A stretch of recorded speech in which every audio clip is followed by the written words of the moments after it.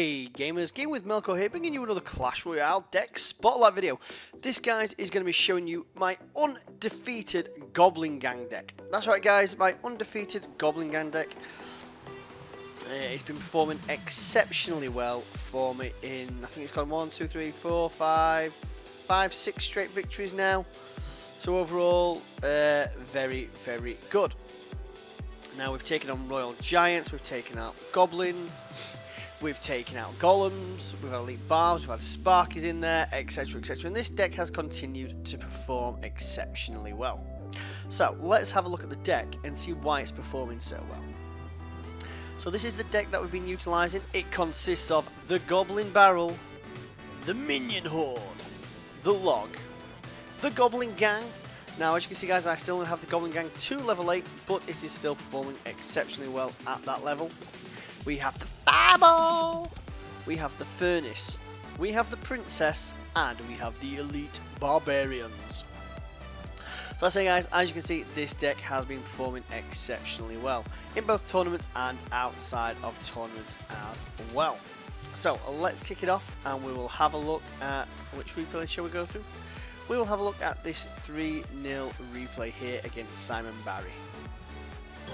I say guys, this deck is really, really fun to play. Our opponent is obviously running a similar army to ours, uh, or some similar cards to ours as well, shall I say. So let's tick it off by getting the Furnace down on the field. Now, I do love the Furnace. I think it's a fantastically versatile card.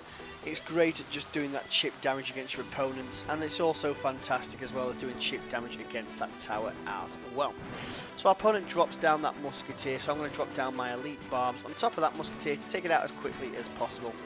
Now, I did send in that Goblin Barrel. Now, the Furnace was able to take out some of that Skeleton Horde, and they was able to, that uh, Goblin was able to do a bit of chip damage to that tower. Now as you can see, I threw the log there. Poor placement. Oh dear.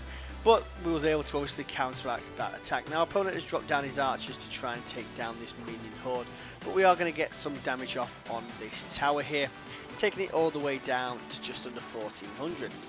So we're going to drop the uh, Goblin Gang here to try and take out this Hog Rider, but a well-placed Zap spell there did put paid to that.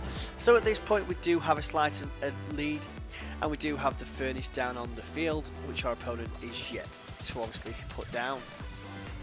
Now, I always like to fireball a tower and a musketeer, but I was a bit slow on the uptake there, so I'm just going to wait for my elixir to build back up, and then I'm going to drop the princess down in the back here, and then I'm going to drop those elite barbarians down on that musketeer's head. Now our opponent is obviously going to counteract that with his own. I thought he was going to drop the Skeleton Horde, so I dropped the log in anticipation. Obviously I was wrong there. So the Elite Barbs do manage to get one hit off on that tower, but unfortunately those archers then take out my lovely little princess. So at this point guys, we are just waiting for that elixir to build back up before we decide on how we're going to push.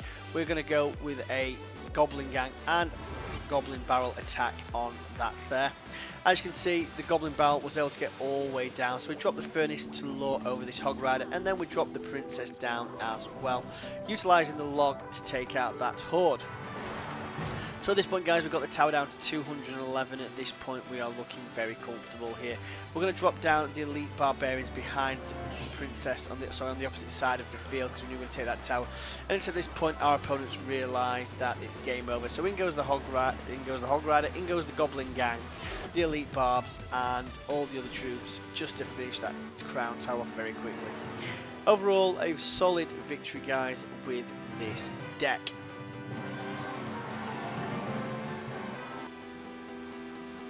We had an interesting 2-1 victory here as well against an opponent that had the level 4 golem and they also had the Goblin Barrel themselves. This was a very interesting battle to say the least. As I'd like to say, the opponent wishes a good luck. For some reason I didn't seem to put my good luck up. Oh, there we go. Whew. Bit concerned there. now, with this deck, as you can see, I did have the Tornado. Tornado? I don't know what it's called now. Oh dear. Sorry, let's just uh, cancel out that one. That was uh, one before I had a slightly different deck. This is the one that we wanted to... Because I obviously put the fireball in because it was much more effective than the Tornado. I just wasn't happy with the card working out for me, so I was going to watch this one instead. So this was a nice little victory again with a completely different type of deck against what I was playing. Now, I didn't want to just waste Elixir, so I put the Princess down and the Goblin Barrel to see how our opponent was going to counter it. Now, he obviously dropped down his Mini P.E.K.K.A and his Goblins, so down goes our Goblin Gang on defense here, which was able to soak up the majority of that damage there very quickly. Now, we are slightly ahead at this point because of that, so we're just going to wait to see what our opponent does. Now, we do have our Elite Barbs, which we're going to push, so we're going to drop it straight on that level 6 Hog Rider's head. Now, we've got that, we're going to drop down the Furnace as well, and our opponent drops down his Fast Spirits and a Zap. But our Elite Barb is able to still get to that tower, taking it all the way down to 800 HP. That mini P.E.K.K.A is obviously going to destroy that furnace, but our minion horde is going to go for this tower, but our opponent is then going to fireball! So at this point guys, we are in a comfortable lead at this point, so I'm just going to Goblin Barrel, thinking our opponent was slightly lower on elixir than he was.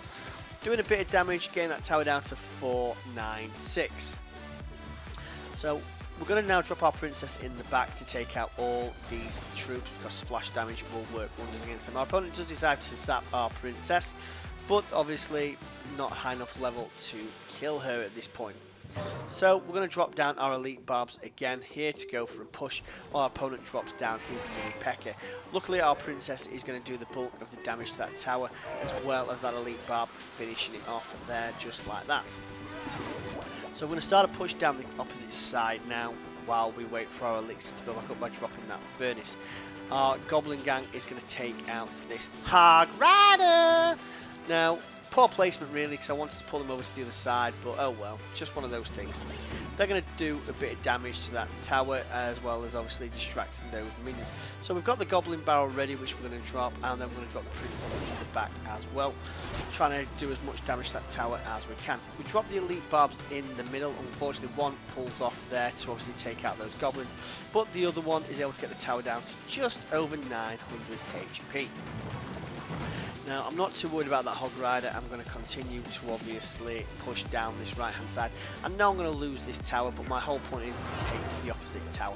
So he zaps the Goblin Gang again, and in goes the Goblin Barrel, as well as that lovely Princess. That Furnace there was able to save that uh, Princess just like that.